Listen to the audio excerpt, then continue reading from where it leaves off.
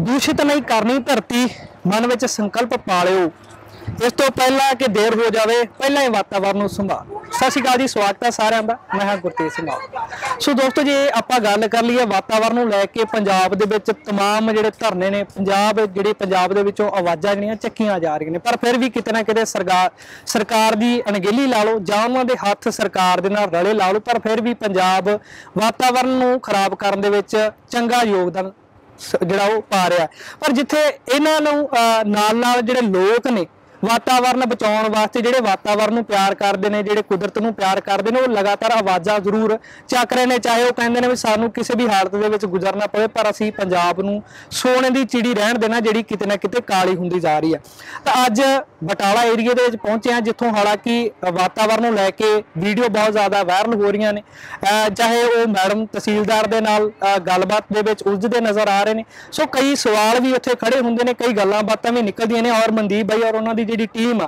ਔਰ ਜਦੋਂ ਉੱਥੇ ਪਹੁੰਚ ਕੇ ਆਪਾਂ ਗੱਲਬਾਤ ਕਰਦੇ ਆ ਹਾਲਾਂਕਿ ਜਾਣਾਂਗੇ ਵੀ ਵਾਤਾਵਰਨ ਨੂੰ ਲੈ ਕੇ ਸੀ ਜਾਂ ਕਿ ਆਪਸੀ ਨਿੱਜੀ ਜਿਹੜੀ ਇਹਨਾਂ ਦੀ ਰੰਜਿਸ਼ ਜੀ ਦੇ ਤਹਿਤ ਗੱਲਾਂ ਬਾਤਾਂ ਹੋਈਆਂ ਸੀ। ਸੋ ਮਨਦੀਪ ਹੁਣਾ ਬਾਈ ਦੇ ਨਾਲ ਗੱਲਬਾਤ ਕਰਦੇ ਆ ਉਹਨਾਂ ਦੀ ਟੀਮ ਸਾਡੇ ਨਾਲ। ਔਰ ਮਨਦੀਪ ਬਾਈ ਹੈਗਾ ਜੀ। ਔਰ ਰਣਦੀਪ। ਆ ਔਰ ਬੱਬੂ ਟੇਲਰ ਬਾਈ। ਸੋ ਇੱਕ ਟੀਮ ਬਹੁਤ ਮੈਂ ਕਹਿ ਸਕਦਾ ਵੀ ਸਿਆਣੇ ਕਹਿੰਦੇ ਨੇ ਚਾਹੇ ਏਕਾ ਹੋਵੇ ਚਾਹੇ ਉਹਨੂੰ ਖਿਲਾਰਨਾ ਔਖਾ ਹੁੰਦਾ ਔਰ ਜਦੋਂ ਉਹਦੇ ਨਾਲ ਬੰਦੇ ਦੋ ਜੁੜ ਜਾਣ ਫਿਰ ਉਹ ਟੀਮ ਮਜ਼ਬੂਤ ਜ਼ਰੂਰ ਹੋ ਜਾਂਦੀ ਉਹਨੂੰ ਤੋੜਨ ਲੱਗੇ ਸਮਾਂ ਜ਼ਰੂਰ ਲੱਗਦਾ ਸੋ ਬਾਈ ਮਨਦੀਪ ਦੇ ਨਾਲ ਹੀ ਆਪਾਂ ਸ਼ੁਰੂਆਤ ਕਰਾਂਗੇ। ਪਹਿਲਾਂ ਤਾਂ ਬਾਈ ਜੀ ਤੁਹਾਡੀ ਸਾਰੀ ਟੀਮ ਨੂੰ ਸਾਡੇ ਵੱਲੋਂ ਸਤਿ ਸ਼੍ਰੀ ਅਕਾਲ ਔਰ ਜਿਹੜਾ ਤੁਸੀਂ ਕਿੱਸਾ ਵੱਢਿਆ ਹੋਇਆ ਉਹਦੀਆਂ ਮੁਬਾਰਕਾਂ ਵੀ ਆ। ਬਹੁਤ ਬਹੁਤ ਧੰਨਵਾਦ ਜੀ। ਤੁਹਾਡਾ ਮੀਡੀਆ ਵੀ ਅੱਜ ਸਾਡੇ ਕੋਲੇ ਪਹੁੰਚਿਆ। ਦੇਰ ਆਏ ਦਰੁਸਤ ਆਏ ਜੀ ਆਇਆਂ ਨੂੰ। ਸੋ ਅਸੀਂ ਅਸੀਂ ਮਾਫੀ ਚਾਹੁੰਦੇ ਆ ਵੀ ਸਾਡੇ ਕੋਲ ਆਵਾਜ਼ ਨਹੀਂ ਪਹੁੰਚੀ ਕਿਉਂਕਿ ਅਸੀਂ ਮਾਝੇ ਤੋਂ ਆ ਹੈ ਤਾਂ ਇਹ ਵੀ ਮਾਝਾ ਪਰ ਫਾਸਲਾ ਜ਼ਰੂਰ ਹੈਗਾ 60 70 ਕਿਲੋਮੀਟਰ ਦਾ। ਸੋ ਬਈ ਇਹ ਮਹਿਮ ਵਿੱਢੀ ਕਿਵੇਂ? ਆਖਰ ਇਹਦੀ ਸ਼ੁਰੂਆਤ ਜਿਹੜਾ ਆਗਾਜ਼ ਜਿਹੜਾ ਆਪਾਂ ਕਹਿ ਸਕਦੇ ਇਹ ਮਹਿਮ ਹੁੰਦੀ ਨਹੀਂ ਹੈ। ਇਹਦੇ ਦੇ ਵਿੱਚ ਇੱਕ ਸੰਕਲਪ ਹੁੰਦਾ ਵੀ ਯਾਰ ਅਸੀਂ ਵਾਤਾਵਰਨ ਨੂੰ ਬਚਾਉਣਾ ਸੋ ਸ਼ੁਰੂਆਤ ਤੁਸੀਂ ਕੀਤੀ ਕਿਵੇਂ ਹੋਈ ਔਰ ਵਾਤਾਵਰਨ ਦੇ ਨਾਲ ਪਿਆਰ ਕਿਵੇਂ ਜਾਗਿਆ? ਦੇਖੋ ਜਦੋਂ ਗੱਲ ਆ ਜੇ ਨਾ ਤੁਹਾਡੇ ਸਭ ਤੋਂ ਅਹਿਮ ਕੁਦਰਤੀ ਅਧਿਕਾਰ ਦੀ ਤੁਹਾਡੇ ਪਾਣੀ ਦੀ ਤੁਹਾਡੀ ਹਵਾ ਦੀ ਤੁਹਾਡੇ ਘਰ ਨੂੰ ਜਾਣ ਲਈ ਔਰ ਸੁਰੱਖਿਅਤ ਮਹਿਸੂਸ ਕਰਨ ਦੀ। ਤਾਂ ਫਿਰ ਸੰਘਰਸ਼ ਆਪਣੇ ਆਪ ਹੀ ਉੱਠ ਖੜਦੇ। ਕੋਈ ਨਾ ਕੋਈ ਜਰੀਆ ਜ਼ਰੂਰ ਬਣਦਾ ਚਾਹੇ ਉਹ ਜਰੀਆ ਮੇਰੇ ਰੂਪ ਦੇ ਵਿੱਚ ਹੋਵੇ ਚਾਹੇ ਬਲਵਿੰਦਰ ਦੇ ਰੂਪ ਦੇ ਵਿੱਚ ਹੋਵੇ ਚਾਹੇ ਰਣਦੀਪ ਤੇ ਚਾਹੇ ਮੇਰੇ ਬੱਬੂ ਸਾਥੀ ਜਾਂ ABC ਕਿਸੇ ਦੇ ਹੂੰ। ਮੂਵਮੈਂਟ ਕੋਈ ਵੀ ਉੱਠਦੀ ਆ ਤਾਂ ਬ੍ਰਦਰ ਇੱਕ ਦੋ ਬੰਦਿਆਂ ਨਾਲ ਉੱਠਦੀ ਆ। ਪਰ ਉਹ ਹੌਲੀ ਹੌਲੀ ਹੌਲੀ ਹੌਲੀ ਜੇਕਰ ਉਸ ਮੂਵਮੈਂਟ ਨੂੰ ਤਰੀਕੇ ਦੇ ਨਾਲ ਸਾਂਭਿਆ ਜਾਵੇ ਉਹਦੇ ਜਿਹੜੇ ਸਟੈਪ ਜਿਹੜੇ ਆ ਸਾਰੇ ਬੜੇ ਸੰਜੀਦਗੀ ਦੇ ਨਾਲ ਲੈ ਜਾਣ ਤਾਂ ਉਹ ਮੂਵਮੈਂਟ ਇੱਕ ਭੀੜ ਬਣਨ ਦੀ ਥਾਂ ਤੇ ਇੱਕ ਸਾਰਥਕ ਨਤੀਜੇ ਦੇ ਵੱਲ ਜਿਹੜਾ ਉਹ ਜ਼ਰੂਰ ਵੱਧ ਜਾਂਦੀ ਹੈ ਤੇ ਆਖਰਕਾਰ ਉਹ ਮੂਵਮੈਂਟ ਜਿਹੜੀ ਹੈ ਇੱਕ ਨਾ ਇੱਕ ਦਿਨ ਜਿਹੜੀ ਉਹ ਕਾਮਯਾਬ ਹੁੰਦੀ ਹੈ ਕਿਉਂਕਿ ਉਸ ਮੂਵਮੈਂਟ ਦੇ ਵਿੱਚ ਜੇਕਰ ਇੱਕ ਸਭ ਤੋਂ ਅਹਿਮ ਨਿਯਮ ਸਾਰਥਕ ਬਹਿਸ ਜਿਹੜੀ ਆ ਉਹ ਹੋਵੇ ਬਹਿਸ। ਤੁਸੀਂ ਉਦੋਂ ਗੱਲ ਕੀਤੀ ਵੀ ਮੈਡਮ ਦੀ। ਹੂੰ। ਬਹਿਸ ਨਹੀਂ ਉਹ ਸਾਰਥਕ ਬਹਿਸ ਸੀ। ਹੂੰ। ਸੋ ਉਮੀਦ ਆ ਕਿ ਇਹੋ ਜਿਹੀਆਂ ਸਾਰਥਕ ਬਹਿ- ਬਹਿਸਾਂ ਪਹਿਲਾਂ ਵੀ ਹੁੰਦੀਆਂ ਰਹੀਆਂ। ਹੂੰ। ਤੇ ਜਿੱਤ ਜਿਹੜੀ ਆ ਉਹ ਯਕੀਨੀ ਆ। ਆਉਣ ਵਾਲੇ ਕੁਝ ਸਮੇਂ ਤੱਕ ਕੁਝ ਟਾਈਮ ਲੱਗ ਸਕਦਾ ਜਿੱਤ ਯਕੀਨੀ ਆ ਸਾਡੀ ਹੋਏਗੀ। ਅੱਛਾ ਉਹਦੇ ਚ ਨਾ ਚਲੋ ਤੁਸੀਂ ਆਪਣੇ ਮਤਲਬ ਸੰਕਲਪ ਲਈ ਲੜ ਰਹੇ ਹੋ ਪਰ ਕਈ ਚੈਨਲਾਂ ਨੇ ਉਹਦੇ ਟਾਈਟਲ ਹੋ ਜਾਂਦੇ ਇਹਦੇ ਵੀ ਨੌਜਵਾਨ ਭਿੜ ਗਿਆ ਐਸਟੀਐਮ ਮੈਡਮ ਦੇ ਨਾਲ ਕਿਸੇ ਨੇ ਕੁਝ ਲੈ ਕੇ ਦਿੱਤਾ ਕਿਸੇ ਨੇ ਕੁਝ ਲੈ ਕੇ ਹਾਲਾਂਕਿ ਉਹਦੇ ਚ ਪੂਰੀ ਜਾਣਕਾਰੀ ਕਈਆਂ ਨੂੰ ਮਿਲੀ ਕਈਆਂ ਨੇ ਸ਼ਾਰਟ ਵੀਡੀਓ ਕੱਟ ਕੇ ਪਾਈਆਂ ਹਾਲਾਂਕਿ ਜਾਣਕਾਰੀ ਉਹਦੇ ਚ ਹੈ ਕੀ ਸੀ? ਅਕਸਰ ਉਹ ਮਸਲਾ ਖੜਾ ਕਿਵੇਂ ਹੋਇਆ ਸੀ? ਮਸਲਾ ਕੱਲਾ ਉਦੋਂ ਹੀ ਬ੍ਰਦਰ ਖੜਾ ਨਹੀਂ ਹੋਇਆ। ਮਸਲਾ ਬੜੇ ਲੰਮੇ ਸਮੇਂ ਤੋਂ ਚੱਲ ਰਿਹਾ। 30 32 ਸਾਲ ਤੋਂ ਰਾਣਾ ਗੁਰਜੀਤ ਨੇ ਇੱਥੇ ਫੈਕਟਰੀ ਲਾਈ ਆ। ਉਹਦੀ ਪਹਿਲੀ ਜਿਹੜੀ ਪਲੇਠੀ ਫੈਕਟਰੀ ਉਹ ਇਹ ਆ। ਅਕਸਰ ਕੁਝ ਇੰਟਰਵਿਊ ਦੇ ਵਿੱਚ ਦੇਖਦੇ ਆ ਉਹ ਕਹਿੰਦਾ ਵਾ ਮੈਂ ਮਤਲਬ ਪਿੰਡ ਬੁੱਟਰ ਸਿਵੀਆ ਤੋਂ ਆਪਣਾ ਇੰਡਸਟਰੀਅਲ ਜਿਹੜੀ ਟਰੈਵਲ ਆ ਉਹ ਉੱਥੋਂ ਸ਼ੁਰੂ ਕੀਤਾ। ਅਸਲ ਦੇ ਵਿੱਚ ਇਹ ਜਿਹੜੀ ਸ਼ੂਗਰ ਫੈਕਟਰੀ ਆ ਇਹ ਪਹਿਲਾਂ ਗੰਨੇ ਤੋਂ ਸ਼ੁਰੂਆਤ ਕਰਦੀ ਆ ਤਾਂ ਸਾਡੇ ਲੋਕ ਇਹਨੂੰ ਵੈਲਕਮ ਵੀ ਕਹਿੰਦੇ ਆ ਉਹਨਾਂ ਦਿਨਾਂ ਦੇ ਵਿੱਚ। ਸਾਡੇ ਜਿਹੜੇ ਬਜ਼ੁਰਗ ਆ ਜਾਂ ਸਾਡੇ ਜਿਹੜੇ ਇਲਾਕੇ ਦੇ ਉਸ ਵੇਲੇ ਦੇ ਮੋਹਤਬਰ ਸੱਜਣ ਸੀ ਉਹਨਾਂ ਦੇ ਇਸ ਇੰਡਸਟਰੀ ਨੂੰ ਲਵਾਉਣ ਲਈ ਆਪਣਾ ਅਹਿਮ ਰੋਲ ਅਦਾ ਕੀਤਾ ਕਿਉਂਕਿ ਉਦੋਂ ਸਮੇਂ ਦੇ ਹਿਸਾਬ ਦੇ ਨਾਲ ਲੋੜ ਵੀ ਸੀ ਵੀ ਗੰਨਾ ਦੂਰ ਦੂਰ ਜਾ ਕੇ ਮਿੱਲਾਂ ਦੇ ਵਿੱਚ ਲੈ ਕੇ ਜਾਣਾ ਜਾਂ ਇੱਕ ਹੋਰ ਉਹਨਾਂ ਨੇ ਸੋਚ ਸੋਚੀ ਸੀ ਕਿ ਲੋਕਲ ਜਿਹੜੇ ਨੌਜਵਾਨ ਨੇ ਜਾਂ ਸਾਡੀ ਆਉਣ ਵਾਲੀ ਜਨਰੇਸ਼ਨ ਹੈ, ਉਹਨੂੰ ਇੱਕ ਰੋਜ਼ਗਾਰ ਦੇ ਰੂਪ ਦੇ ਵਿੱਚ ਲੋਕਾਂ ਨੇ ਉਦੋਂ ਵੇਖਿਆ ਇਹਨੂੰ। ਪਰ ਜਿੱਦਾਂ ਜਿੱਦਾਂ ਸਮਾਂ ਬਦਲਦਾ ਗਿਆ, ਅੱਗੇ ਵੱਧਦਾ ਗਿਆ, ਤੇ ਲੋਕਲ ਲੋਕ ਲੋਕ ਜਿਹੜੇ ਨੇ, ਉਹਨਾਂ ਦੇ ਲਈ ਇਹ ਜਿਹੜੀ ਮਿੱਲ ਆ, ਇਹ ਇੱਕ ਵਰਦਾਨ ਦੀ ਥਾਂ ਤੇ, ਇੱਕ ਸ਼ਰਾਪ ਦੇ ਵਜੋਂ ਜਿਹੜਾ ਵਾ, ਉਹ ਆਪਣਾ ਰੋਲ ਪਲੇ ਕਰਨ ਲੱਗ ਪਏ। ਖੈਰ, ਸਮੱਸਿਆਵਾਂ ਵੱਧਦੀਆਂ ਗਈਆਂ, ਜਿੱਦਾਂ ਜਿੱਦਾਂ ਸ਼ੂਗਰ ਫੈਕਟਰੀ ਦੀ ਐਕਸਪੈਂਸ਼ਨ ਹੁੰਦੀ ਆ, ਜਿੱਦਾਂ ਜਿੱਦਾਂ ਇਹਦੇ ਵਿੱਚ ਇਹਦੇ ਵੱਖ-ਵੱਖ ਜਿਹੜੇ ਹਿੱਸੇ ਆ, ਉਹ ਮੁਕੰਮਲ ਹੁੰਦੇ ਆ। ਮੁਕੰਮਲ ਨਹੀਂ ਹੁੰਦੇ, ਜਬਰੀ ਲਾਏ ਜਾਂਦੇ ਨੇ। ਭਾਵੇਂ ਉਹ ਇੱਥੇ ਪਾਵਰ ਪਲਾਂਟ ਆ, ਭਾਵੇਂ ਉਹ ਚਿਕੰਦਰ ਪਲਾਂਟ ਆ, ਭਾਵੇਂ ਉਹ ਈਥੋਨੋਲ ਪਲਾਂਟ ਆ। ਇਹ ਗਲਤ ਤਰੀਕੇ ਨਾਲ, ਗੈਰ ਕਾਨੂੰਨੀ ਤਰੀਕੇ ਦੇ ਨਾਲ ਜਨਤਕ ਸੁਣਵਾਈਆਂ ਕਰਕੇ ਇਲੀਗਲ ਤਰੀਕੇ ਨਾਲ ਇੱਥੇ ਸਟੈਪ ਬਾਈ ਸਟੈਪ ਲਾਏ ਜਾਂਦੇ ਆ। ਤੇ ਲਾਉਣ ਦੇ ਦੌਰਾਨ ਜਿਹੜਾ ਵਾ ਉਹ ਜਿਉਂ-ਜਿਉਂ ਵੱਧਦੇ ਜਾਂਦੇ ਆ ਤਿਉਂ-ਤਿਉਂ ਮੁਸ਼ਕਲਾਂ ਵੱਧਦੀਆਂ ਜਾਂਦੀਆਂ। ਹਵਾ ਨੂੰ ਲੈ ਕੇ ਪਾਣੀ ਨੂੰ ਲੈ ਕੇ ਰਸਿਆਂ ਨੂੰ ਲੈ ਕੇ ਵੱਡੇ ਚੈਲੰਜ ਜਿਹੜੇ ਆ ਉਹ ਸਾਹਮਣੇ ਆਉਣੇ ਸ਼ੁਰੂ ਹੋ ਗਏ। ਜਿਵੇਂ ਇਹ ਪਹਿਲਾਂ ਫੈਕਟਰੀ ਸੀ ਹਨਾ ਜਿਵੇਂ ਗੰਨਾ ਸ਼ੂਗਰ ਮਿਲ ਤੋਂ ਮਤਲਬ 3 ਤੋਂ 4 ਮਹੀਨੇ ਕੰਮ ਚੱਲਦਾ ਸੀ। ਫਿਰ ਉਸ ਤੋਂ ਬਾਅਦ ਹੌਲੀ ਹੌਲੀ ਵੱਧ ਕੇ ਇਹ 12 ਮਹੀਨਿਆਂ ਤੱਕ ਰੈਗੂਲਰ ਜਿਹੜੀ ਫੈਕਟਰੀ ਹੈ ਚੱਲਣੀ ਸਟਾਰਟ ਬਿਲਕੁਲ ਬਿਲਕੁਲ। ਕਿਉਂਕਿ ਪਹਿਲਾਂ ਤੁਹਾਨੂੰ ਪਤਾ ਹੀ ਹੈ ਵੀ ਜਦੋਂ ਇੱਥੇ ਗੰਨਾ ਮਿਲ ਲੱਗੀ ਸੀ ਸਾਨੂੰ ਕੋਈ ਪ੍ਰੋਬਲਮ ਹੈ ਵੀ ਨਹੀਂ ਸੀ। ਬਹੁਤ ਘੱਟ ਸੀ ਸਿਰਫ ਟ੍ਰੈਫਿਕ ਨੂੰ ਲੈ ਕੇ ਹੋਣਗੀਆਂ। ਬਹੁਤ ਘੱਟ। ਉਦੋਂ ਉਹਨਾਂ ਦਿਨਾਂ ਦੇ ਵਿੱਚ ਕਈ ਦੇ ਗੱਡਿਆਂ ਦੇ ਉੱਤੇ ਵੀ ਲੈ ਕੇ ਆਉਂਦੇ ਹੁੰਦੇ ਸੀ। ਤੇ ਸ਼ੂਗਰ ਫੈਕਟਰੀ ਵੀ ਬਹੁਤ ਛੋਟੀ ਸੀ। ਜਿਉਂ ਇਹਦੀ ਐਕਸਪੈਂਸ਼ਨ ਹੋਈ ਵੱਡੀ ਹੋਈ ਤਿਉਂ ਤਿਉਂ ਇੱਥੇ ਟ੍ਰੈਫਿਕ ਵਧਣਾ ਸ਼ੁਰੂ ਹੋ ਗਿਆ। ਤਾਂ ਇਹ ਵਾਲੇ ਹਾਲਾਤ ਜਿਹੜੇ ਨੇ ਅੱਜ ਤਕਰੀਬਨ ਚੋ ਅੱਜ ਦੀ ਡੇਟ ਦੇ ਵਿੱਚ ਜਾਂ ਪਿਛਲੇ ਤਕਰੀਬਨ 12 14 15 ਸਾਲ ਤੋਂ ਜਿਹੜੇ ਹਾਲਾਤ ਨੇ ਇਹਨਾਂ ਹਾਲਾਤਾਂ ਨੇ ਜ਼ਿਆਦਾ ਲੋਕਾਂ ਨੂੰ ਜਿਹੜਾ ਵਾ ਉਹ ਜ਼ਖਮ ਜਿਹੜੇ ਆ ਉਹ ਦਿੱਤੇ ਆ।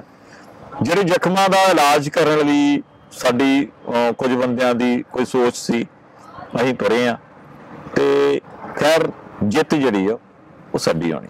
ਅੱਛਾ ਭਾਈ ਮਨਦੀਪ ਇੱਕ ਗੱਲ ਰੁਕਦੀ ਹੈ ਤੁਹਾਡੀ ਵੀ ਇਹ 90 ਦੇ ਦਹਾਕੇ ਦੇ ਵਿੱਚ ਫੈਕਟਰੀ ਹੋਣ ਦੇ ਵਿੱਚ ਆਉਂਦੀ ਆ। ਹਾਲਾਂਕਿ ਉਦੋਂ ਵੀ ਇਹਦਾ ਵਿਰੋਧ ਹੁੰਦੇ ਨੇ ਕੋਈ ਸਿਗਨੇਚਰ ਨਹੀਂ ਹੁੰਦੀ ਕੋਈ ਪਰਮਿਸ਼ਨ ਪਿੰਡ ਦੀ ਪੰਚਾਇਤ ਨਹੀਂ ਲਿਖ ਕੇ ਦਿੰਦੀ। ਉਸ ਤੋਂ ਬਾਅਦ ਇਹ ਜਬਰਨ ਫੈਕਟਰੀ ਲੱਗਦੀ ਆ। ਤਾਂ ਉਹਨਾਂ ਦਿਨਾਂ ਦੇ ਵਿੱਚ ਇਹਦੀ ਆਵਾਜ਼ ਚੱਕੀ ਕਿਉਂ ਨਹੀਂ ਜਾਂਦੀ? ਕੀ ਉੱਥੇ ਇਹ ਸਾਬਤ ਕੀ ਹੁੰਦਾ ਵੀ ਇੱਧਰ ਜੇ ਆਵਾਜ਼ ਚੱਕੂਗੀ ਤਾਂ ਕੀ ਨਤੀਜਾ ਕੀ ਹੋ ਦੇਖੋ ਅਸਲ ਦੇ ਵਿੱਚ ਇਕੱਲਾ ਇੰਡਸਟਰੀਲਿਸਟ ਹੀ ਨਹੀਂ ਆ। ਇਹ ਪੈਸੇ ਦੇ ਪੱਖ ਤੋਂ ਧਨੀ ਨਹੀਂਗਾ। ਇਹ ਸਿਆਸਤ ਦੇ ਪੱਖ ਤੋਂ ਵੀ ਜਿਹੜਾ ਵਾ ਉਹ ਮਜ਼ਬੂਤ ਆ। ਤੇ ਕਿਤੇ ਨਾ ਕਿਤੇ ਦੇਖਿਆ ਜਾਵੇ ਬ੍ਰਦਰ ਇਹਦੀ ਪਰਸੈਪਸ਼ਨ ਜਿਹੜੀ ਆ ਓਵਰਆਲ ਭਾਵੇਂ ਰਾਜਨੀਤੀ ਦਾ ਖੇਤਰ ਹੈ ਭਾਵੇਂ ਇੱਕ ਇੰਡਸਟਰੀਲਿਸਟ ਦੇ ਤੌਰ ਤੇ ਆ ਇਹਦੀ ਪਰਸੈਪਸ਼ਨ ਬਣੀ ਹੈ ਇੱਕ ਗੁੰਡੇ ਦੇ ਤੌਰ ਤੇ। ਮੈਂ ਨਹੀਂ ਇਹਦੀ ਗੱਲ ਕਰਦਾ ਮੈਂ ਨਹੀਂ ਕਹਿੰਦਾ ਇਹਨੂੰ ਗੁੰਡਾ ਪਰ ਪਰਸੈਪਸ਼ਨ ਬਣੀ ਆ ਕਿ ਸਾਡੇ ਲੋਕਾਂ ਦੇ ਵਿੱਚ ਇਹ ਵਾਲਾ ਇਹਦਾ ਆਧਾਰ ਬਣਾਇਆ ਗਿਆ ਇਹਦੇ ਬੰਦਿਆਂ ਦੇ ਵੱਲੋਂ ਵੀ ਇਹ ਤਾਂ ਯਾਰ ਰਾਣਾ ਤਾਂ ਬੜਾ ਤਗੜਾ ਗੁੰਡਾ ਇਹਦੇ ਨਾਲ ਤੁਸੀਂ ਕਿੱਥੋਂ ਮੱਥਾ ਲਾ ਲੋਗੇ ਤੇ ਭਾਵੇਂ ਤੁਸੀਂ ਦੇਖਿਆ ਵੀ ਆ ਭਾਵੇਂ ਸਿਆਸੀ ਪੱਖ ਤੋਂ ਚਾਹੇ ਇੰਡਸਟਰੀਅਲਿਸਟ ਦੇ ਪੱਖ ਤੋਂ ਕਿ ਇਹਦੇ ਨਾਲ ਕੋਈ ਆਡਾ ਲਾ ਕੇ ਰਾਜੀ ਨਹੀਂ। ਪਰ ਦੇਖੋ ਇੱਕ ਹੋਰ ਚੀਜ਼ ਆ। ਜਬਰ ਜਿਹੜਾ ਨਾ ਸਾਨੂੰ ਮਤਲਬ ਵੀ ਸਾਡੀ ਜਿਹੜੀ ਗੁਰਬਾਣੀ ਆ ਉਹ ਦੱਸਦੀ ਹੈ ਕਿ ਜਬਰ ਜਿਹੜਾ ਜਿੱਥੇ ਉਹ ਕਰਨਾ ਹੂੰ। ਜਿਹੜਾ ਉਹ ਪਾਪ ਹੈ ਤੇ ਜਬਰ ਨੂੰ ਸਹਿਣਾ ਵੀ ਪਾਪ ਉਹ ਤੋਂ ਵੱਡਾ ਪਾਪ ਹੈ ਤੇ ਆਪਾਂ ਜਬਰ ਨੂੰ ਜਿਹੜਾ ਵਾ ਜਬਰ ਦੇ ਅਗੇਂਸਟ ਜਿਹੜਾ ਵਾ ਆਪਾਂ ਵਿਗੜ ਵਜਾਇਆ। ਹੂੰ। ਤੇ ਅੱਜ ਸਾਡੇ ਕੱਲੀ ਇਹੋ ਹੀ ਨਹੀਂ ਮਤਲਬ ਵੀ ਸਾਡੀ ਛੋਟੀ ਜੀ ਟੀਮ ਨਹੀਂ ਗਈ ਸਾਨੂੰ ਬਹੁਤ ਲੋਕ ਸਾਥ ਦਿੰਦੇ ਨੇ। ਇੰਟਰਨਲ ਤੌਰ ਤੇ ਬਹੁਤ ਸਾਥ ਆ ਫਿਜ਼ੀਕਲੀ ਤੌਰ ਤੇ ਥੋੜਾ ਘੱਟ ਆ ਪਰ ਕੋਈ ਗੱਲ ਨਹੀਂ। ਲੜ ਰਹੇ ਤਾਂ ਬਈ ਸਟਾਰਟਿੰਗ ਦੇ ਵਿੱਚ ਜਦੋਂ ਟੀਮ ਕ੍ਰੀਏਟ ਹੁੰਦੀ ਹੈ ਹਾਲਾਂਕਿ ਤੁਸੀਂ ਇੱਕ ਦੂਜੇ ਨੂੰ ਬਿਲਕੁਲ ਵੀ ਜਾਣ ਇੰਨਾ ਮਤਲਬ ਸਾਡੀ ਆਉਣ ਜਾਣੀ ਨਹੀਂ। ਨਹੀਂ ਹੈਗੀ ਨਹੀਂ ਹੈਗੀ। ਤਾਂ ਆਖਰ ਇਹ ਮਿਲਾਪ ਹੋਇਆ ਕਿਦਾਂ? ਇਹ ਸਬੱਬੀ ਮੇਲੇ ਹੁੰਦੇ ਨੇ ਵੀ ਜਦੋਂ ਕਹਿੰਦੇ ਨੇ ਰੂਹਾਂ ਮਿਲਦੀਆਂ ਨੇ ਬਹੁਤ ਔਖੀਆਂ ਹੁੰਦੀਆਂ ਨੇ। ਆਖਰ ਮਿਲਿਆ ਕਿਵੇਂ? ਦੇਖੋ ਗੱਲ ਇਸ ਦਾ ਵਾ ਵੀ ਮੈਂ ਤਾਂ ਇਹਦੇ ਬਾਰੇ ਮੇਰੇ ਖਿਆਲ ਨਾਲ ਜ਼ਿਆਦਾ ਬੈਟਰ ਇਹ ਦੱਸੇਗਾ। ਰਣਦੀਪ। ਜੀ। ਬਾਈ ਜੀ ਜਿੱਦਣ ਇਹ ਇੱਥੇ ਮੂਵਮੈਂਟ ਸ਼ੁਰੂ ਹੁੰਦੀ ਹੈ ਨਾ ਸਾਡੇ ਇੱਕ ਬਜ਼ੁਰਗ ਆ ਬਲਵਿੰਦਰ ਸਿੰਘ ਸਾਡੇ ਨਾਲ ਅੱਜ ਉਹਨਾਂ ਦਾ ਥੋੜਾ ਜਿਹਾ ਸਿਹਤ ਨਹੀਂ ਠੀਕ ਤੇ ਆਏ ਨਹੀਂ। ਉਹ ਸਵੇਰੇ ਮੈਂ ਦੁਕਾਨ ਮੇਰੀ ਅੱਡੇ ਦੇ ਵਿੱਚ ਮੈਂ ਖੋ ਰਿਹਾ ਸੀ ਤੇ ਉਹ ਦੁਕਾਨਾਂ ਵਾਲਿਆਂ ਨੂੰ ਕਹਿੰਦੇ ਫਿਰਦੇ ਸੀ ਕਿ ਇੱਥੇ ਯਾਰ ਇੰਨਾ ਮੰਦਾ ਹਾਲ ਹੋ ਗਿਆ ਸਵਾਹ ਦਾ ਇੰਨਾ ਸਵਾਹ ਨਾਲ ਇੰਨਾ ਮੰਦਾ ਹਾਲ ਹੋ ਗਿਆ ਵਾ ਟਰਾਲੀਆਂ ਨੇ ਇੰਨਾ ਮੰਦਾ ਹਾਲ ਕਰਤਾ ਚਕੰਦਰ ਉਦੋਂ ਚੱਲਦੀ ਸੀ ਉਹ ਜਦੋਂ ਡਿੱਗਦੀ ਸੀ ਮੱਛਰ ਮੱਖੀ ਉਹ ਜਦੋਂ ਡਿੱਗਦੀ ਸੀ ਨਾ ਟਰਾਲੀਆਂ ਤੋਂ ਤੇ ਟਾਇਰਾਂ ਦੇ ਥੱਲੇ ਆ ਜਾਂਦੀ ਸੀ ਤੇ ਉਹ ਉਹਦਾ ਜਿਹੜਾ ਫਲਾੜ ਜਿਹਾ ਉਹ ਖਿਲਰ ਜਾਂਦਾ ਸੀ ਤੇ ਉੱਥੇ ਮੱਖੀ ਤੇ ਮੱਛਰ ਹੁੰਦਾ ਸੀ।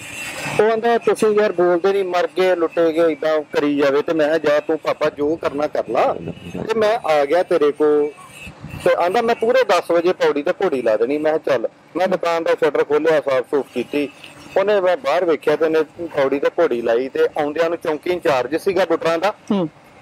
ਉਹ ਆ ਕੇ ਤੇ ਇਹਨਾਂ ਨੇ ਇਹਨਾਂ ਦੀ ਇੱਕ ਇਹ ਬੜੀ ਸੀਗੀ ਨਾ ਉਸੇ ਵੇਲੇ ਚੌਂਕੀ ਵਾਲਿਆਂ ਨੂੰ ਫੋਨ ਕਰਦੇ ਸੀ। ਹੁਣ ਵੀ ਇਦਾਂ ਹੀ ਆ ਆ ਕੇ ਤੇ ਉਸੇ ਵੇਲੇ ਉਹ ਚੌਂਕੀ ਵਾਲੇ ਵੀ ਡਰਾਉਣ ਧਮਕਾਉਣ ਡੈ ਪੈਂਦੇ ਤੇ ਉਹਨਾਂ ਨੇ ਆ ਕੇ ਜੀ ਚਲੋ ਤੁਹਾਨੂੰ ਚੌਂਕੀ ਖੜਦੇ ਆ ਉਹ ਜੇ ਫਲਾਣ ਠੀਕ। ਮੈਂ ਉੱਥੇ ਜਾਣਾ ਵਾ ਮੈਂ ਇੱਕ ਦੋ ਸੱਜਣਾ ਨੂੰ ਫੋਨ ਕਰਦਾ ਮੈਂ ਯਾਰ ਆ ਗੱਲਬਾਤ ਹੋ ਗਈ ਆ। ਤੇ ਬਜ਼ੁਰਗ ਨੂੰ ਇਦਾਂ ਉਹਦੀ ਘਰ ਦੀ ਨੂੰ ਵੀ ਇੱਕ ਆਂਟੀ ਹੋ ਰਹੀ ਸੀ ਸਾਡੇ ਇੱਥੇ ਬਲਵਿੰਦਰ ਕੌਰ ਕਿ ਉਹਨਾਂ ਨੂੰ ਇਹ ਕਹਿਣ ਦੇ ਆ ਕਿ ਚੌਂਕੀ ਆ ਜਾਓ ਜੇ ਇਹਨਾਂ ਨੂੰ ਚੁੱਕਣ ਦੀ ਤਦਾਦ 'ਚ ਆ ਤੇ ਤੁਸੀਂ ਮਨਦੀਪ ਭਾਜੀ ਨੂੰ ਫੋਨ ਕਰੋ। ਇਹ ਸਾਡੇ ਭਰਾ ਦਾ ਨਾ ਪਹਿਲਾਂ ਵੀ ਇੱਥੇ ਰੁਤਬਾ ਮੇਨਟੇਨ ਸੀ ਸੱਚ ਦੀ ਲੜਾਈ ਲੜਨ ਦਾ।